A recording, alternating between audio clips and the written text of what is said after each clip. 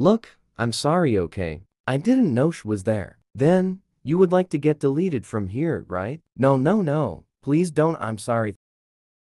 Hey, um, can you please bring him back? Everything was just a plan. I knew they were already there. WHAT? How did you have the confidence set O plan or do all of these? Well, I just didn't care for whatever was going to happen. I just wanted to make them pay. But still you didn't deserve to be seen by your friend, so I'll bring you home. Poor Marcy.